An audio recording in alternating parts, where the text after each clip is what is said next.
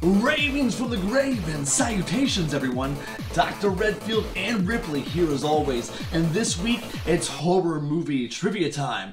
I have a prize in this box and I want to give it away to one of you. What's in the box? What's in the box? Well, I'm glad you asked, Ripley. It's actually a bag of bloody, wonderful, disgusting, gooey guts, and I feel like it's the perfect prize for this competition. Are you interested? Then let's play a game.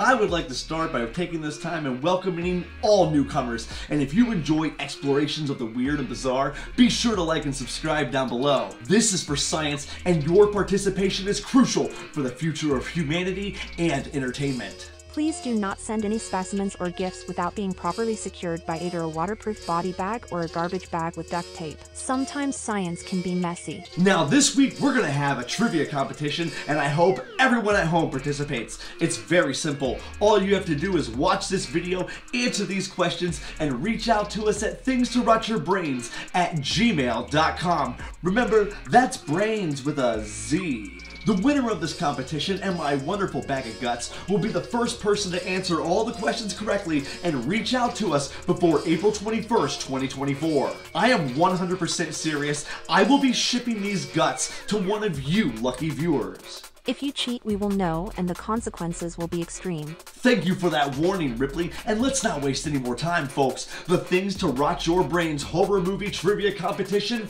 has officially been activated. Now, Warm up question. who was the killer in Friday the 13th? You don't need to officially answer this one, but if you get it wrong, you probably haven't seen the movie Scream. Or the original Friday the 13th. Question number one. In 1987, Joel Schumacher directed a movie and tried to make vampires young, hip, and sexy. One was apparently sexier than others, and this brings up our first question. How many times was the name Michael said in the movie The Lost Boys? Michael, Michael, Michael. Question number two. The release of summer blockbuster movies hasn't always been the spectacle that we see today. Thanks, Marvel, but technically it's not their fault. This originally started with one movie. What was the first summer blockbuster to pave the way for all other productions and reinvent the way movies were released and advertised?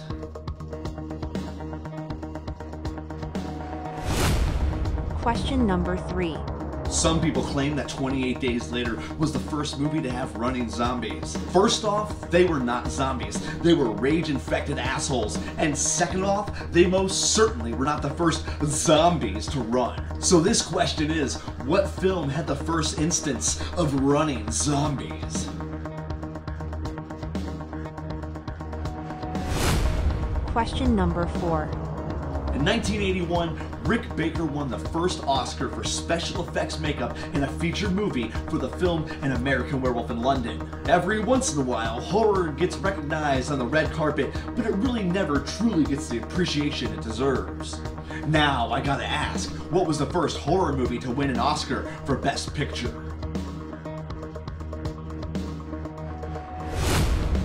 Question number five.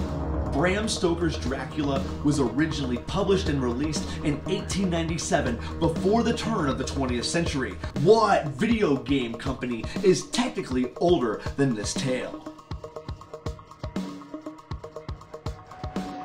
And now a word from our sponsor.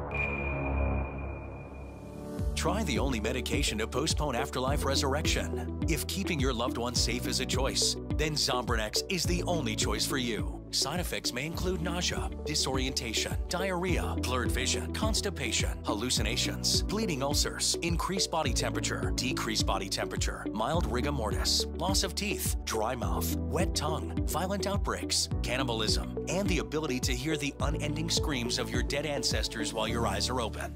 Zombranex, the cure for humanity. Question number six. The original Evil Dead movie had college students battle demonic possession in a remote cabin in the woods. There was a Book of the Dead, plenty of blood, and some weird tree shit. And that naturally brings up the question, what college did Ash and his friends attend? Question number seven. Many actors have made appearances or have starred in multiple horror movie franchises.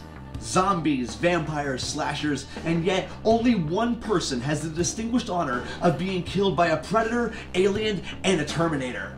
What actor or actress was it? Question number 8.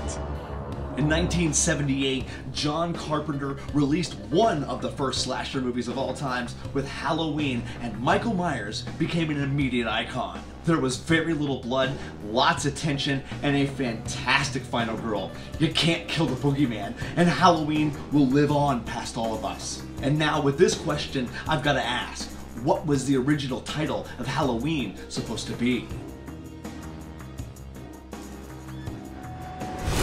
Question number 9. Many horror movie franchises have been converted into video games. Nightmare on Elm Street, Friday the 13th, The Evil Dead, these are prime examples. Not necessarily good games, but games none the least. Sometimes it works the other way around though, and with that in mind, what are two horror movie franchises that originated as video games?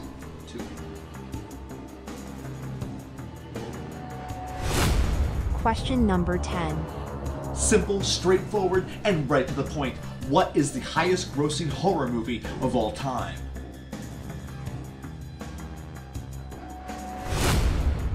Tiebreaker. And in the event of a tiebreaker, I thought I would add one final question. What is my favorite way of dispatching a zombie? Get creative, folks. The prize is on the line. Things to Rot Your Brainz Horror Movie Trivia Contest. And those are the questions for the Things to Rot Your Brainz Horror Movie Trivia Contest. Best of luck, everyone, and be sure to submit all entries to Things to Rot Your Brainz at gmail.com. Remember, that's brains with a Z by April 21st, 2024. That box of guts depends on it. Be sure to like and subscribe for more explorations of insanity. And because she said the word insanity, that's our time for this week. As always, I'm Dr. Redfield, and this has been Ripley, reminding you to play and slay and play until dead. Doctor, I have one final question. Is that okay? Sure, what you got? If Jason Voorhees was to remove his hockey mask, do you think he would let me sit on his face and bust like a gusher? For fuck's sake, Ripley, that was wildly inappropriate, but I, I, understand at this point. Ha ha ha You folks at home do not have to answer her question unless you really want to. Best of luck, everyone. Gray Matter Commander, out.